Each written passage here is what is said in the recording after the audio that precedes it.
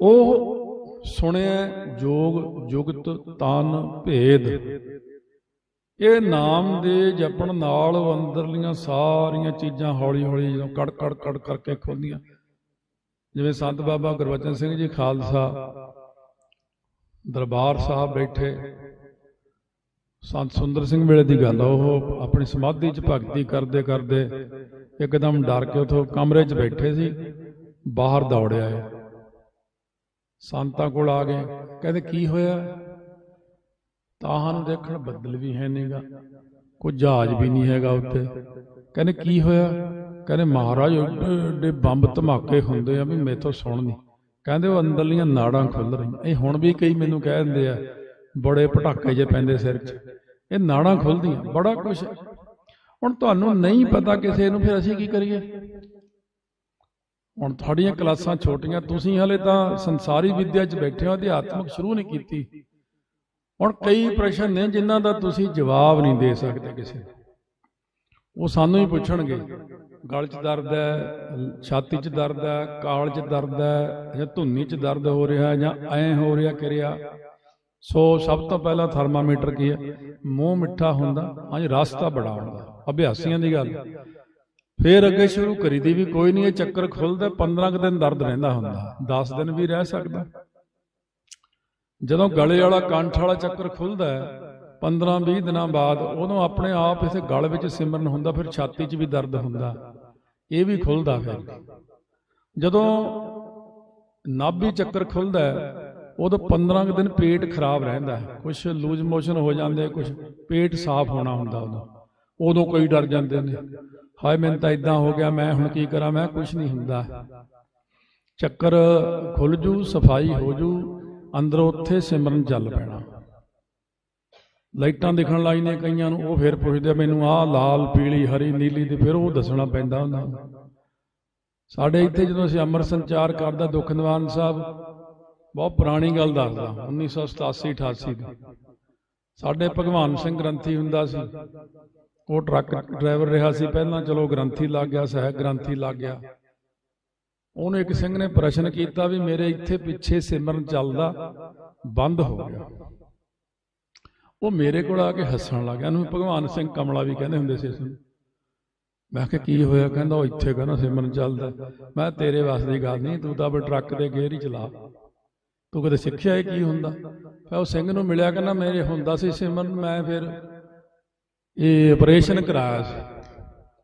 ਮੈਂ ਕਿਹਾ ਰੋਮਾਂ ਦੀ ਬੇਅਦਬੀ ਹੋਣ ਕਰਕੇ ਉਹ ਬੰਦ ਹੋ ਗਿਆ ਮੈਂ ਕਿਹਾ ਜਦੋਂ ਹੁਣ ਤੈਨੂੰ ਅੰਮ੍ਰਿਤ ਛਕਾਵਾਂਗੇ, ਫਿਰ ਦੱਸੀ। ਜਦ ਅੰਮ੍ਰਿਤ ਛਕਾਇਆ ਉਹ ਕਹਿੰਦਾ ਹੁਣ ਚੱਲ ਪਿਆ। ਇਹ ਦੋ ਰਾਹ ਨੇ ਇੱਕ, ਇੱਧਰ ਦੀ ਜਾਂਦਾ, ਇੱਕ ਪਿਛਲੇ ਰੀੜ ਦੀ ਹੱਡੀ ਵਿੱਚ ਦੀ ਜਾਂਦਾ। ਕਿਸੇ ਦਾ ਇੱਧਰ ਨੂੰ ਚੱਲਦਾ ਕਿਸੇ ਦਾ ਅੱਗੋਂ ਚੱਲਦਾ ਹੈ। ਜਦ ਨੌਲੇਜ ਹੀ ਹੈ ਨਹੀਂ ਇਹਨਾਂ ਗੱਲਾਂ ਦੀ, ਫਿਰ ਉਹ ਕਹਿੰਦੇ ਨੇ, ਇਹ ਗਪੌੜ ਮਾਰਦਾ ਹੈ, ਗੱਪੀ ਆ ਕਹੀ ਜਾਓ। ਮੈਨੂੰ ਤਾਂ ਕੋਈ ਫ਼ਰਕ ਨਹੀਂ ਪੈਂਦਾ, ਹੈ।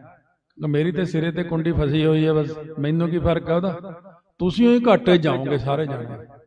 ਤੁਸੀਂ ਹੀ ਇੱਕ ਦਿਨ ਨੁਕਸਾਨ ਖਾਓਗੇ ਵੀ ਯਾਰ ਜੇ ਉਹਦੀ ਗੱਲ ਸੁਣ ਲੈਂਦੇ ਤਾਂ ਚੰਗੇ ਸੀ। ਅਸੀਂ ਵੀ ਐਂ ਨੁਕਸਾਨ ਖਾਦੇ ਕਈ ਵਾਰੀ। ਮੈਨੂੰ ਇੱਕ ਸਿੰਘ ਨੇ ਸਾਰਾ ਦੱਸਿਆ। ਬਲੂ ਸਟਾਰ ਪਹਿਲਾਂ ਹੀ ਦੱਸਦਾ ਸੀ ਵੀ ਐ ਹੋਊ ਐ ਹੋਊ, ਐ ਹੋ ਅਸੀਂ ਉਹਨੂੰ ਕਮਲਾ ਸਮਝ ਕੇ ਹੱਸੀ ਜਾਂਦੇ ਸੀ। ਲੈ, ਐਡਾ ਆ ਗਿਆ ਤੂੰ। ਐ ਨਹੀਂ ਹੋਣਾ, ਐ ਨਹੀਂ ਹੋਣਾ। ਤੇ ਇਸ ਕਰਕੇ ਹੈ ਕਿ ਇਹ ਜਿਹੜੀਆਂ ਚੀਜ਼ਾਂ ਹੁੰਦੀਆਂ, ਇਹਨਾਂ ਦੀ ਨੌਲੇਜ ਹੌਲੀ ਹੌਲੀ ਬੰਦਗੀ ਵਾਲਿਆਂ ਕੋਲ ਹੁੰਦੀ ਹੈ। ਮੈਂ ਇੱਕ ਚੀਜ਼ ਦੱਸੀ ਸੀ ਵੀ ਇੱਕ ਉਰੇ ਸਿੰਘ ਸੀ, ਮੈਂ ਉਹਨੂੰ ਕਰਾਇਆ ਤਾਂ ਮੈਨੂੰ ਸ਼ਬਦ ਵੈਸੇ ਮਾਇਆ ਲਈ ਸੀ ਵੀ ਚਲੋ, ਅਸੀਂ ਵੀ ਕਿਸੇ ਮਹਾਪੁਰਖ ਤੋਂ ਪੁੱਛ ਕੇ ਆਏ ਅੱਗੇ ਉਦੋਂ ਮੈਂ ਵੀ ਬਹੁਤ ਗਰੀਬੀ ਵਿੱਚ ਸੀਗਾ, ਉਹ ਵੀ ਮੈਂ ਕਿਹਾ ਮੈਥੋਂ ਤਾਂ ਇੰਨਾ ਬਹਿ ਨਹੀਂ ਹੋਣਾ, ਤੂੰ ਕਰ ਲੈ। ਉਹ ਜਦ ਕੀਤਾ ਤੇ ਉਹ ਚੀਜ਼ ਹੀ ਪ੍ਰਗਟ ਹੋ ਗਈ ਪਹਿਲੀ ਵਾਰ ਚ। ਮੈਂ ਕਿਹਾ ਉਹ ਸਿੰਘ ਨੇ ਕਿਹਾ ਸੀ ਵੀ ਬੁਲਾਉਣਾ ਨਹੀਂ, ਆਪ ਮੰਗਣਾ ਵੀ ਨਹੀਂ ਕੁਛ, ਤੇ ਉਹਨਾਂ ਨੂੰ ਜੇ ਉਹ ਕਹਿਣਗੇ, ਹਾਂ ਵੀ ਦੱਸ ਕੀ ਮੰਗਦਾ ਮੈਂ ਇੰਨਾ ਹੀ ਕਹਿਣਾ ਵੀ ਕਿਰਪਾ ਕਰੋ। ਤੀਜੀ ਵਾਰੀ ਜਦੋਂ ਦਰਸ਼ਨ ਹੋਏ 14 14 ਦਿਨ ਦਾ ਪਾਠ ਸੀ ਉਹ। ਤੀਜੀ ਵਾਰ ਜਦ ਦਰਸ਼ਨ ਹੋਏ ਤਾਂ ਕਹਿੰਦੇ, ਹਾਂ, ਦੱਸ ਕੀ ਇੱਛਾ, ਕਹਿੰਦੇ ਕਿਰਪਾ ਕਰੋ। ਕਹਿੰਦੇ ਠੀਕ। ਪਹਿਲਾਂ ਜੀ ਨੇ ਤੈਨੂੰ ਦੱਸਿਆ, ਪਹਿਲਾਂ ਉਹ ਤੇ ਹੋਊਗੀ, ਕਿਉਂਕਿ ਉਹਨੇ ਤੈਨੂੰ ਦੱਸਿਆ, ਫਿਰ ਤੇਰੇ ਤੇ ਹੋਊਗੀ। ਉਹ ਕਈ ਇੱਕ ਦਿਨਾਂ ਬਾਅਦ ਮੇਰੇ ਕੋਲੇ ਲਫਾਫੇ 'ਚ ਤੜਕੇ 9 ਵਜੇ ਘਰੇ ਆਇਆ, ਕਥਾ ਤੋਂ ਬਾਅਦ ਸੰਗਤਰੇ ਲਿਆ ਮੈਂ ਕਿਹਾ, ਇਹ ਕੀ ਹੈ? ਕਹਿੰਦਾ ਉਹ ਦੇ ਗਏ ਅੱਜ। ਮੈਂ ਕਿਹਾ, ਅੱਛਾ। ਕਹਿੰਦਾ, ਦੋ ਤੁਹਾਨੂੰ ਦਿੱਤੇ ਆ, ਦੋ ਮੇਰੇ ਆ। ਮੈਂ ਠੀਕ ਆ। ਮੈਨੂੰ ਪਤਾ ਸੀ ਇਹ ਗੰਮੀ ਚੀਜ਼ ਆ। ਮੈਂ ਆਪਣੇ ਬੱਚਿਆਂ ਨੂੰ ਵੀ, ਸਿੰਘਣੀ ਨੂੰ ਦਿੱਤੇ, ਮੈਂ ਵੀ ਛਕੇ। ਅੱਜ ਵੀ ਮੈਂ ਬੱਚਿਆਂ ਨੂੰ ਦੁਬਾਰਾ ਪੁੱਛਿਆ। ਮੈਂ ਉਹ ਯਾਦ ਆ? ਕਹਿੰਦੇ, ਹਾਂ, ਬੜੇ ਸਵਾਦ ਸੀ। ਮੁੜ ਕੇ ਨਹੀਂ ਉਹ ਜੇ ਮਿਲੇ। ਮੈਂ ਕਿਹਾ ਉਹ, ਉਹੀ ਹੁੰਦੇ ਬਸ। ਉਹ ਨਹੀਂ ਮਿਲਦੇ ਹੁੰਦੇ ਦੁਬਾਰਾ। ਜਿਹੜੀ ਅਗੰਮੀ ਪ੍ਰਸ਼ਾਦ ਹੁੰਦੇ ਨੇ, ਹੁਣ ਆ ਕੜਾ ਪ੍ਰਸ਼ਾਦ ਤੁਸੀਂ ਛਕਦੇ ਹੋ ਇਹ ਅਗੰਮੀ ਚੀਜ਼ ਹੈ। ਕਿ ਨਾ ਸਵਾਦ ਹੁੰਦਾ। ਘਰੇ ਬਣਾ ਲਓ, ਜ਼ੋਰ ਲਾ ਲਓ, ਕਦੇ ਨਹੀਂ ਸਵਾਦ ਲੰਗਰ ਦੀ ਦਾਲ ਇੰਨੀ ਸਵਾਦ ਹੁੰਦੀ ਕਿ ਧੱਕੇ ਨਾਲ ਬੰਦਾ ਰੋਟੀਆਂ ਦੋ ਵਾਧੀ ਖਾ ਜਾਂਦਾ।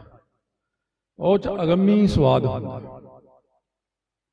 ਮੈਂ ਦੱਸਿਆ ਇਸ ਕਰਕੇ ਵੀ ਇਹਨਾਂ ਦੇ ਹੌਸਲੇ ਵਧਣਗੇ, ਇਹ ਅੱਗੇ ਨੂੰ ਤੁਰਨਗੇ, ਸ਼ਾਇਦ ਤਰੱਕੀਆਂ ਕਰਨਗੇ। ਇਹ ਮੈਨੂੰ ਹੀ ਬੁਰਾ ਕਹਿਣ ਲੱਗ ਗਏ। ਉਹ ਜੀ ਝੂਠ ਬੋਲਦਾ ਹੈ, ਕਰਦਾ ਹੈ, ਕਰਦਾ। ਉਸ ਤੋਂ ਬਾਅਦ ਫਿਰ ਮੈਂ ਕਦੇ ਸੁਣਾਇਆ ਕੁਛ? ਉਸ ਤੋਂ ਬਾਅਦ ਮੈਂ ਕਿੰਨਾ ਕੁਛ ਛਕ ਲਿਆ। ਸਿੰਘ ਜਿਹੜਾ ਦੇ ਜਾਂਦਾ, ਕੋਈ ਆ ਕੇ ਵੀ ਅੱਲਾ ਵੀ ਤੇਰੇ ਲਈ ਵੀ ਪ੍ਰਸ਼ਾਦ ਆ ਛਕ ਲੈ। ਮੈਂ ਦੱਸਿਆ ਕਦੇ ਫਿਰ? ਮੈਂ ਕਿਹਾ, ਇਹ ਨਾ ਕਮਲਿਆਂ ਨੂੰ ਕਾਹਨੂੰ ਦੱਸਣਾ? ਬੇ ਇਹ ਨਹੀਂ ਇਸ ਦੇ ਲਾਇਕ ਹੈਗੇ। ਇਹਦੇ ਲਾਇਕ ਹੀ ਨਹੀਂ ਹੈਗਾ ਕੋਈ। ਇਹ ਦੱਸਣਾ ਹੀ ਨਹੀਂ ਚਾਹੀਦਾ ਕਿਸੇ ਨੂੰ। ਮੈਨੂੰ ਸੰਤ ਮਹਾਤਮਾ ਵੀ ਕਹਿੰਦੇ, ਯਾਰ ਤੂੰ ਇੰਨਾ ਕਾਹਨੂੰ ਦੱਸਦਾ ਕਥਾ 'ਚ? ਦੇਖ ਤਾਂ ਲੈ, ਮੁਰੇ ਨਿਆਣੇ ਬੈਠੇ ਨੇ ਇਹ, ਤੈਨੂੰ ਹੀ ਕਹਿਣਗੇ ਵੀ ਇਹ ਐਵੇਂ ਮਾਰੀ ਜਾਂਦਾ ਬਕਵਾਸ। ਕਹਿੰਦੇ, ਉਨਾ ਹੀ ਦੱਸੋ। ਹਾਂ ਕੱਲੇ ਨਾਲ ਕਿਸੇ ਨਾਲ ਅਭਿਆਸੀ ਨਾਲ ਗੱਲ ਕਰ ਲਓ ਵੀ ਉਹ ਤਾਂ ਤੇਰੇ ਨਾਲ ਸਹਿਮਤ ਹੋ ਜੂ। ਇਹਨਾਂ ਸਾਰੀਆਂ ਸੰਗਤਾਂ ਨੇ, ਇਹ ਨਵੇਂ ਮੁੰਡਿਆਂ, ਨੌਜਵਾਨਾਂ ਨੇ ਆ ਬਾਹਰਲੇ ਦੇਸ਼ਾਂ ਵਾਲਿਆਂ ਨੇ, ਇਹਨਾਂ ਨੇ ਸਹਿਮਤ ਨਹੀਂ ਹੋਣਾ, ਇਹ ਤਾਂ ਤੈਨੂੰ ਹੀ ਗਾਲਾਂ ਕੱਢਣਗੇ। ਸੋ ਇਸ ਕਰਕੇ ਸਾਧ ਸੰਗਤ ਕਿਉਂਕਿ ਇਹ ਲੌਕਿਕ ਨਹੀਂ ਹੈ, ਅਲੌਕਿਕ ਚੀਜ਼ਾਂ ਹੁੰਦੀਆਂ। ਤੁਹਾਡੀ ਮਰਜ਼ੀ ਆ, ਤੁਸੀਂ ਨਾਲ ਨਹੀਂ ਨਾ ਤੁਰੇ ਮੇਰੇ। ਕਿਤੇ ਸਹਿਮਤੀ ਦੇ ਦਿੰਦੇ, ਮੈਂ ਤੁਹਾਨੂੰ ਕਹਿੰਦਾ ਆਹ ਪਾਠ ਕਰੀ ਜਾਓ ਕਰੀ ਜਾਓ ਕਰੀ ਜਾਓ, ਤੁਸੀਂ ਵੀ ਸਿਰੇ ਲੱਗ ਜਾਓਗੇ। ਚੱਲ ਠੀਕ ਹੈ ਮੌਜਾਂ ਕਰੋ ਹੁਣ। ਹੁਣ ਮੈਂ ਦੱਸਦਾ ਹੀ ਨਹੀਂ ਕਿਸੇ ਨੂੰ ਕੁਝ ਉਹ ਤਾਂ ਆ ਚੀਜ਼ ਇੱਥੇ ਆ ਗਈ ਕਰਕੇ ਦੱਸ ਰਿਹਾ। ਇਹ ਇਸ ਚੀਜ਼ ਦੇ ਗਾਹਕ ਵੀ ਹੈ ਐਵੇਂ ਕਹਿੰਦੇ ਬਹਿਨ ਗਾਹਕ ਗੁਣ ਵੇਚੀ ਆ, ਤਾਂ ਉਹ ਗੁਣ ਸਮਝੋ ਜਾਏ ਸਮਝੇ ਐਵੇਂ ਕੀ ਫਾਇਦਾ? ਹੈ ਇਸ ਤਰ੍ਹਾਂ ਜੇ ਅੱਖ ਨਾਲ ਦੇਖੋ, ਜਿੰਨੀ ਦੂਰ ਦੇਖਦਾ, ਦੂਰਬੀਨ ਨਾਲ ਉਦੋਂ ਕਿੰਨੇ ਗੁਣਾ ਜ਼ਿਆਦਾ ਦਿਖਦਾ। ਹੁਣ ਇੱਕ ਦੂਰਬੀਨ ਇਹਨਾਂ ਕੋਲੇ ਆ, ਬਾਹਰ ਸਾਇੰਸਦਾਨਾਂ ਕੋਲੇ। ਉਹ ਜਿਹੜੇ ਬਲੈਕ ਹੋਲ ਉੱਤੇ ਨਵੇਂ ਖੁੱਲਦੇ ਨੇ ਪਤਾ ਨਹੀਂ ਕਿੰਨੀ ਕੁ ਦੂਰ ਆ, ਰੱਬ ਜਾਣਦਾ, ਬਲੈਕ ਹੋਲ ਸਾਰੇ ਤਾਰਿਆਂ ਨੂੰ ਦੇਖ ਲੈਂਦੀ ਆ ਇਹ ਵੀ ਉਹੀ ਚੀਜ਼ ਹੈ ਬ੍ਰਹਮ ਗਿਆਨੀ ਦੀ ਅੰਦਰੋਂ ਹੀ ਖੁੱਲੀ ਹੁੰਦੀ ਆ ਇਹ ਖੁੱਲ ਤਾਂ ਤੁਹਾਡੀ ਵੀ ਸਕਦੀ ਹੈ, ਪਰ ਮਹਾਰਾਜ ਕਹਿੰਦੇ ਇਹ ਨਾ ਕਮਲਿਆਂ ਦੇ ਕਿਵੇਂ ਰੌਲਾ ਪਾਉਣਾ। ਇਹ ਤਾਂ ਕੁਝ ਹੋਰ ਹੀ ਕਰ ਦੇਣਗੇ ਫਿਰ। ਇਸ ਕਰਕੇ ਨਹੀਂ ਦਿੰਦੇ ਕਿਸੇ ਨੂੰ। ਹਾਂ, ਜਿਹੜਾ ਬੰਦਾ ਅੰਦਰ ਜਰ ਲਵੇ ਅਵਸਥਾ ਨੂੰ, ਇਹ ਚੀਜ਼ ਉਹਨੂੰ ਮਿਲਦੀ ਹੈ। ਮੈਂ ਐਸੇ ਕਈ, ਬਹੁਤ ਛੋਟੀਆਂ ਮਾਮੂਲੀ ਮਾਮੂਲੀ ਗੱਲਾਂ ਹੁੰਦੀਆਂ। ਅਸੀਂ ਸਰਹਾਲੀ ਪਿੰਡ ਤੋਂ ਪਿੰਡਾਂ ਵੱਲ ਨੂੰ ਕਥਾ ਸੰਤ ਜਨੈਲ ਸਿੰਘ ਕਰਨ ਜਾਣਾ ਸੀ। ਅਸੀਂ ਮੂਰੇ ਮੈਂ ਵੀ ਜੀਪ 'ਚ ਬੈਠਾ ਸੀ। ਉਹ ਖੱਡਾ ਜਾਇਆ ਝਟਕਾ ਜਾ ਵੱਜਿਆ ਜੀਪ ਬੰਦ ਹੋ ਗਈ। ਉਹ ਬੜੇ ਸੈਲਫ ਮਾਰੇ। ਸੰਤਾਂ ਦਾ ਭਰਾ ਬਾਪੂ ਜਗੀਰ ਸਿੰਘ ਗੱਡੀ ਚਲਾਉਂਦਾ ਸੀ। ਕਹਿੰਦਾ, ਮਹਾਰਾਜ, ਇਹ ਤਾਂ ਸਟਾਰਟ ਨਹੀਂ ਕਹਿੰਦੇ, ਅੱਛਾ। ਸੰਤਾਂ ਨੇ ਮੂਹਰੇ ਰੱਖਿਆ ਹੱਥ। ਕਹਿੰਦੇ, ਕਥਾ ਤੱਕ ਤਾਂ ਪਹੁੰਚਾ ਦੇ। ਫੇਰ ਭਾਵੇਂ ਖਰਾਬ ਹੋਈ ਰਹੀ। ਮਾਰ ਸੈਲਫ। ਮਾਰਿਆ ਸਟਾਰਟ ਹੋ ਗਈ ਆਪਣੀਆਂ ਅੱਖਾਂ ਨਾਲ ਦੇਖਿਆ ਹੋਇਆ ਕੋਲ ਬਹਿ ਕੇ, ਜਦੋਂ ਉੱਥੇ ਪਹੁੰਚ ਕੇ ਲੱਖਾਂ ਸੈਲਫ ਮਾਰ ਨਹੀਂ ਹੁੰਦੀ। ਤਰਨ ਤਾਰਨ ਤੋਂ ਮਿਸਤਰੀ ਲਿਆਇਆ ਸੀ, ਹੋਰ ਗੱਡੀ ਚ ਆਏ। ਫੇਰ ਉਹ ਗੱਡੀ ਠੀਕ। ਐਸੇ ਤਾਂ ਇੱਕ ਕੌਤਕ ਹੈ ਸੰਤ ਜਨੈਲ ਸੁਣਾ, ਸੰਤ ਕਰਤਾਰ ਸੁਣਾ, ਸੰਤ ਗੁਰਬਚਨ ਸੁਨਾ ਐਸੇ ਐਸੇ ਅਸੀਂ ਹਜ਼ਾਰਾਂ ਕੌਤਕ ਦੇਖੇ ਹੋਏ ਨੇ। ਹੁਣ ਜਿਹੜੇ ਰਹੇ ਇਹ ਜੀ ਸੰਸਥਾ ਚ ਨਹੀਂ ਜੀ ਥਾਂ ਤੇ ਰਹੇ ਨੇ ਉਹਨਾਂ ਨੂੰ ਕੋਈ ਕਹੇ ਜੀ ਉਹਨਾਂ ਨੂੰ ਤਾਂ ਕੁਝ ਆਉਂਦਾ ਹੀ ਨਹੀਂ ਸੀ, ਉਹਨਾਂ ਕੁਝ ਪਤਾ ਹੀ ਨਹੀਂ ਸੀ। ਕਲਗੀਧਰ ਮਹਾਰਾਜ ਨੂੰ ਹੀ ਕਹੀ ਜਾਂਦੇ, ਇਹ ਤਾਂ ਲੜਾਕੇ ਸੀ, ਇਹ ਤਾਂ ਐ ਸੀ, ਇਹ ਤਾਂ ਐ ਸੀ। ਪਰ ਜਦ ਕਲਾਧਾਰੀ ਦੀ ਐਸੀ ਕੋਈ ਗੱਲ ਮਿਲੇ, ਤਾਂ ਉਸ ਵਿੱਚ ਐਸੇ ਵਾਕਿਆਤ ਦਾ ਜ਼ਿਕਰ ਹੋਵੇ ਕਿ ਜਿਸ ਨੂੰ ਕਰਾਮਾਤ ਖਿਆਲ ਕਰਨ ਤਾਂ ਸੰਕੋਚ ਵਿੱਚ ਪੈ ਜਾਂਦੇ ਆ। ਇਹ ਸ਼ੁਰੂ ਤੋਂ ਹੀ ਡਰਦੇ ਸਾਰੇ। ਇਹ ਅੱਜ ਦੀ ਗੱਲ ਨਹੀਂ, ਸਭ ਡਰਦੇ ਆ। ਸਾਰੇ ਪ੍ਰੋਫੈਸਰ ਵੀ ਪ੍ਰਿੰਸੀਪਲ ਵੀ ਕਹਿਣਗੇ, ਨਹੀਂ ਨਹੀਂ, ਇਹ ਬਕਵਾਸ ਗੱਲਾਂ ਹੁੰਦੀਆਂ ਅੱਗੇ ਵਿਦਿਆਰਥੀ ਵੀ ਉਹੋ ਜਿਹੇ ਹੁੰਦੇ ਨੇ। ਉਹਨਾਂ ਕਦੇ ਇਹ ਲਾਈਨ ਦੇਖੀ ਨਹੀਂ। ਦੂਜੀ ਇਹ ਹੁੰਦੀ ਆ ਵੀ ਇਹਦੇ 'ਚ ਹੇਠੀ ਹੁੰਦੀ ਬੰਦੇ ਦੀ। ਅਗਲਾ ਕਹਿੰਦਾ, ਇਹ ਕਿੱਧਰੋਂ ਆ ਕੇ ਗਾਣ ਲਈ? ਇਹ ਸਾਨੂੰ, ਸਾਡੀ ਚੰਗੀ ਟੌਰ ਬਣੀ ਹੋਈ ਦੁਨੀਆ ਦੇ ਵਿੱਚ। ਇੱਕ ਸਿੰਘ ਆ, ਉਹ ਕੈਨੇਡਾ ਤੋਂ ਪਾਕਿਸਤਾਨ ਦੇ ਗੁਰਦੁਆਰਿਆਂ ਦਰਸ਼ਨਾਂ ਨੂੰ ਆਇਆ ਜਦੋਂ। ਤੋ ਇਹਦਾ ਨਾਮ ਭਾਈ ਬਾਜ ਸਿੰਘ ਸੈਕਟਰੀ ਆ ਉੱਥੇ ਗੁਰਦੁਆਰੇ ਦਾ। ਕਿਉਂਕਿ ਦੱਸਿਆ ਤੁਹਾਨੂੰ ਜ਼ਿਆਦਾ ਇਤਬਾਰ ਹੋ ਜਾਂਦਾ। ਐਬਸਫੋਰਡ ਗੁਰਦੁਆਰੇ ਦਾ ਸੈਕਟਰੀ ਹੁਣ ਵੀ ਹੈਗਾ। ਕਹਿੰਦਾ ਜਦ ਗਿਆ ਟੈਕਸੀ 'ਚ ਬੈਠਾ, ਕਹਿੰਦਾ ਮੈਂ ਉਹਨੂੰ ਕਿਹਾ ਵੀ ਟੈਕਸੀ ਵਾਲੇ ਖਾਨ ਨੂੰ, ਕਹਿੰਦਾ ਵੀ ਆਹ ਖੇਤ ਇੰਨਾ ਹਰਾ ਭਰਾ, ਬਾਕੀ ਸਭ ਸੁੱਕਾ ਪਿਆ। ਕਹਿੰਦਾ ਪੀਰਾਨ ਪੀਰ ਗੁਰੂ ਨਾਨਕ ਦਾ ਖੇਤ ਹੈ, ਇਹ ਨਹੀਂ ਸੁੱਕ ਸਕਦਾ। ਉਹਨਾਂ ਨੇ ਇਹ ਹਰਾ ਕੀਤਾ ਸੀ ਜਾਂ ਮੱਝਾਂ ਚਾਰੀਆਂ ਸੀ ਇੱਥੇ। ਕਹਿੰਦੇ ਇਹ ਤਾਂ ਸੁੱਕਦਾ ਹੀ ਨਹੀਂ ਕਦੇ।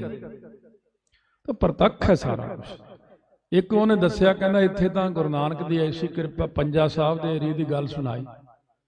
ਇੱਕ ਪਠਾਨ ਸੀ, ਉਹਦੀ ਕਿਤੇ ਨੌਕਰੀ ਦੂਰ ਲੱਗ ਗਈ, ਘਰ ਵਾਲੀ ਲੈ ਕੇ ਉੱਥੇ ਚਲਾ ਗਿਆ, ਉੱਥੇ ਬੱਚਾ ਹੋਇਆ ਜਦ। ਉੱਥੇ ਪਠਾਨ ਵੀ ਕੜਾਹ ਪ੍ਰਸ਼ਾਦ ਬਣਾਉਂਦੇ ਆ। ਸਿਰ ਸੁਰ ਨਹਾ ਕੇ, ਢੱਕ ਕੇ, ਅਰਦਾਸ ਕਰਦੇ, ਤਾਂ ਪੰਜਾ ਕਰਾਮਾਤ ਐਸੀ ਕਿ ਪੰਜਾ ਲੱਗ ਜਾਂਦਾ ਉੱਥੇ, ਕਿੱਥੇ ਪੰਜਾ ਸਾਹਿਬ ਦੇ ਏਰੀਏ ਏਰੀਏ ਦੇ ਵਿੱਚ। ਉਹ ਬਾਹਰ ਚਲਾ ਗਿਆ, ਬਾਹਰ ਪੰਜਾ ਨਾ ਲੱਗਿਆ, ਉਹਨੇ ਛੁਰਾ ਚੱਕ ਲਿਆ। ਕਹਿੰਦਾ, ਇਹ ਬੱਚਾ ਮੇਰਾ ਨਹੀਂ, ਪੰਜਾ ਨਹੀਂ ਲੱਗਿਆ।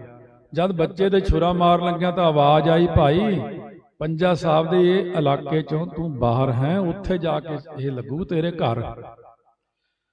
ਜਦ ਉੱਥੇ ਜਾ ਕੇ ਉਹਨੇ ਕੜਾਹ ਪ੍ਰਸ਼ਾਦ ਬਣਾ ਕੇ ਅਰਦਾਸ ਕੀਤੀ ਤਾਂ ਉੱਥੇ ਪੰਜਾ ਲੱਗ ਗਿਆ, ਆਖੋ, ਸਤਨਾਮ। ਵਿਗਿਆਨਕ ਇਤਿਹਾਸ ਵਿੱਚ ਕਰਾਮਾਤ, ਇਹ ਹੁਣ ਅੱਗੇ ਸ਼ੁਰੂ ਕਰਦੇ ਨੇ। ਵਿਗਿਆਨਕ ਇਤਿਹਾਸ ਨੇ ਵੀ ਕਦੇ-ਕਦੇ ਐਸੇ ਵਾਕਿਆਤ ਲਏ ਹਨ, ਮਸਲਨ ਹਮਾਯੂੰ ਦੀ ਬਿਮਾਰੀ ਵੇਲੇ ਜਦ ਉਸਦੇ ਜੀਵਨ ਦੀ ਆਸ ਨਾ ਰਹੀ, ਤਾਂ ਬਾਬਰ ਨੇ ਤਿੰਨ ਪ੍ਰਕਰਮਾਂ ਕੀਤੀਆਂ, ਇਹ ਆਪਾਂ ਸਕੂਲੀ ਕਿਤਾਬਾਂ 'ਚ ਵੀ ਮੈਂ ਪੜ੍ਹਿਆ ਹੈ। ਇਹ ਚੀਜ਼ ਮੈਂ ਪੜ੍ਹਿਆ ਹੁਣ ਖਾਨੀ ਉਹ ਆਉਂਦੀਆਂ ਕਿ ਨਹੀਂ, ਹੁਣ ਬਦਲਦੀਆਂ ਹੋਣੀਆਂ ਸਾਰੀਆਂ। ਤੇ ਇਹ ਆ ਕੇ ਕਿ ਇਸ ਦੀ ਬਿਮਾਰੀ ਮੈਂ ਲੈ ਲਈ, ਲੇਟ ਗਿਆ ਤੇ ਮਰ ਗਿਆ ਤੇ ਹਮਾਯੂੰ ਠੀਕ ਹੋ ਗਿਆ। 40 50 ਬਰੇ ਹੋਏ ਤਾਂ ਇਹ ਗੱਲ ਮੂਲੋਂ ਨਾ ਮੰਨਣ ਯੋਗ ਖਿਆਲ ਕੀਤੀ ਗਈ, ਪਰ ਹੁਣ ਕੋਈ ਵਰਗਿਆਂ ਦੀਆਂ ਕਰਕੇ ਦਸੀਆਂ ਗੱਲਾਂ ਤੇ ਸਾਈਕੋਲੋਜੀ ਕੀਤੀ ਗਈ। ਸਾਈਕੋਲੋਜੀ ਛਾਣ ਛਾਣਬੀਣਾ ਤੋਂ ਪੱਛਮੀ ਖੋਜੀਆਂ ਨੇ ਇੱਕ ਹੋਰ ਨੁਕਤੇ ਤੋਂ ਇਹਨਾਂ ਦਾ ਹੋਣਾ ਸੰਭਵ ਮੰਨ ਲਿਆ ਹੈ। ਉਹ ਇਉਂ ਕਿ ਦੋਹਾਂ ਦੇ ਦਿਲਾਂ ਵਿੱਚ ਆਟੋ ਸੁਜੈਸ਼ਨ ਵਿੱਚ ਇਸ ਫੇਲ ਨਾਲ ਟੁਰ ਪਈਆਂ। ਇੱਕ ਦੇ ਅੰਦਰ ਰੋਗ ਤੇ ਮੌਤ ਲੈ ਲੈਣ ਦੀ ਤੇ ਦੂਏ ਦੇ ਅੰਦਰ ਦੇਣ ਦੀ। ਤੁਸੀਂ ਵੀ ਦੇਖੋ ਕਿਸੇ ਦੀ ਅਰਦਾਸ ਕਰ ਦਿਓ ਤੁਸੀਂ ਬਿਮਾਰ ਹੋ ਜਾਓਗੇ, ਉਹ ਠੀਕ ਹੋ ਜਾਊ। ਤਾਂ ਹੀ ਤੁਹਾਨੂੰ ਰੋਕੀ ਦਾ ਜਿਹੜਾ ਅਭਿਆਸੀ ਹੈ, ਇਹ ਅਰਦਾਸ ਨਾ ਕਰੇ। ਚਲੋ ਮੈਂ ਇੱਥੋਂ Gurdaspur district U S A phone ਗਿਆ ਮੈਨੂੰ। ਕੋਈ ਲੜਕੀ ਕਹਿੰਦੀ ਵੀ ਮੇਰੀ ਅੱਖ 'ਚ ਬਹੁਤ ਦਰਦ ਹੈ ਵੀ ਔਰ ਇਹਦਾ ਹੁਣ ਕੀ ਇਲਾਜ ਕਰੀਏ, ਦਰਦ ਡਾਕਟਰਾਂ ਤੋਂ ਨਹੀਂ ਹਟਿਆ। ਫੋਨ ਕਰਦਿਆਂ ਕਰਦਿਆਂ ਮੇਰੀ ਖੱਬੀ ਅੱਖ ਵਿੱਚ ਦਰਦ ਹੋਣ ਲੱਗ ਗਿਆ। ਮੈਂ ਦੇਖਿਆ ਨਹੀਂ ਉਹਨਾਂ ਹਲੇ। ਮੈਂ ਕਿਹੜੀ ਅੱਖ ਹੈ ਕਹਿੰਦੀ ਖੱਬੀ। ਮੈਂ ਖਿਆਲ ਇੱਥੇ ਆ ਗਿਆ ਹੈ ਬੜੀਆਂ ਗੱਲਾਂ ਜੇ ਅੱਗੇ ਚੱਲ ਕੇ ਸੁਣਾ ਵੀ ਸਕਦੇ ਜਿਵੇਂ ਬੰਬੇ ਦੀ ਗੱਲ ਆ, ਉੱਥੇ ਇੱਕ ਮਾਤਾ ਨੇ ਬੜੀ ਸੋਨੇ ਦੀ ਸੇਵਾ ਕੀਤੀ। ਮਾਤਾ ਸਾਹਿਬ ਕੌਰ ਦੇ ਸਥਾਨ ਤੇ ਇੱਕ ਸਿੰਘ ਉਹਨਾਂ ਦੇ ਨਾਲ ਹੁੰਦਾ ਸੀਗਾ, ਬਜ਼ੁਰਗ। ਉਹਨੇ ਬੜਾ ਸੋਨਾ ਇਕੱਠਾ ਕਰ ਕਰ ਲਿਆਉਣਾ, ਸੇਵਾ ਵਿੱਚ ਲਾਉਣਾ। ਇੱਕ ਦਿਨ ਉਹ ਬੀਬੀ ਮਾਤਾ ਕਹਿਣ ਲੱਗੀ, ਐ ਆ ਕੇ ਉਹ ਖੜਿਆ ਤਾਂ ਉਹਦੇ ਮੰਗਰੇ ਕਾਲਾ ਜਾਂ ਪਰਛਾਵਾਂ ਖੜਾ, ਲੰਬਾ ਸਾਰਾ। ਕਹਿੰਦੇ, ਮੈਂ ਕਿਹਾ, ਤੂੰ ਕੌਣ ਆ? ਕਹਿੰਦੇ, ਮੈਂ ਅਧਰੰਗ ਐ ਮੈਂ ਅੱਜ ਲੱਗਣਾ ਇਹਨੂੰ। ਕਹਿੰਦੇ, ਇਹ ਨਹੀਂ ਕੰਮ ਕਰਨਾ ਵੀ ਇਹ ਤਾਂ ਮੈਂ ਸੇਵਾ ਕਰਦਾ ਇਹਨੇ ਕਹਿੰਦੇ, ਮੈਂ ਮੈਂ ਇਹਨੂੰ ਕਿਹਾ ਕੱਲ ਨੂੰ ਤੂੰ ਆਈ। ਫਿਰ ਮੈਂ ਰਾਤ ਨੂੰ ਕਹਿੰਦੇ, ਆ ਯਾਦ, ਮਾਤਾ ਜੀ ਨੂੰ ਯਾਦ ਕੀਤਾ, ਮਾਤਾ ਜੀ ਨੇ ਦਰਸ਼ਨ ਦਿੱਤੇ, ਸਾਖਿਆਤ ਹੋ ਕੇ। ਕਹਿੰਦੇ, ਮਾਤਾ ਜੀ, ਉਹ ਤਾਂ ਇੱਕ ਤਾਂ ਬੰਦਾ ਸੇਵਾ ਕਰਦਾ। ਉਹਨੂੰ ਜੇ ਅਧਰੰਗ ਹੋ ਗਿਆ, ਆਪਣੀ ਸੇਵਾ ਰੁਕ ਜੂਗੀ ਸਾਰੀ। ਮਾਤਾ ਜੀ ਕਹਿੰਦੇ, ਇਹਨੇ ਪਿਛਲੇ ਜਨਮ ਚ ਕਤਲ ਕੀਤਾ ਹੋਇਆ ਇੱਕ। ਉਹਦੀ ਸਜ਼ਾ ਮਿਲਣੀ ਹੈ ਇਹਨੂੰ। ਕਹਿੰਦੇ ਮਾਤਾ ਜੀ, ਕੋਈ ਰਸਤਾ ਦੱਸੋ। ਕਹਿੰਦੇ, ਇਹਨੂੰ ਕਹਿ ਵੀ ਜਿੱਥੇ ਬੱਕਰੇ ਵੜਦੇ ਆ ਨਾ, ਕਸਾਈ ਉੱਥੇ ਚਲਾ ਜਾਵੇ। ਰੁਪਈਆ 24 2500 ਨਾਲ ਲੈ ਜਾਓ। ਤੁਸੀਂ ਉਹ 2300 ਕਹਦੇ 2400 ਬੱਕਰੇ ਦਾ ਕਹਦੇ ਜਦੋਂ ਐ ਤਾਹਾਂ ਨੂੰ ਚੱਕੂਗਾ ਨਾ, ਟਕੂਆ ਜਾਂ ਮਾਰਨ ਵਾਸਤੇ, ਉਹਨੂੰ ਉੱਥੇ ਰੋਕ ਦੇਣਾ। ਵੀ ਰੁਕ ਜਾ। ਕਿੰਨੇ ਦਾ? ਉਹ ਕਹਿੰਦੇ 23 2400 ਰੁਪਏ ਮੰਗੂਗਾ। ਉਹ ਪੈਸੇ ਉਹਨੂੰ ਦੇ ਕੇ ਉਹ ਬੱਕਰਾ ਛਡਾ ਲਿਓ, ਛਡਾ ਕੇ ਤੇ ਜੰਗਲ 'ਚ ਛੱਡਿਆ ਕਹਿੰਦੇ ਉਹ ਜਿਹੜਾ ਇਹਦਾ ਕਤਲ ਦਾ ਪਿਛਲਾ ਪਾਪ ਹੈ ਉਹ ਦੂਰ ਹੋ।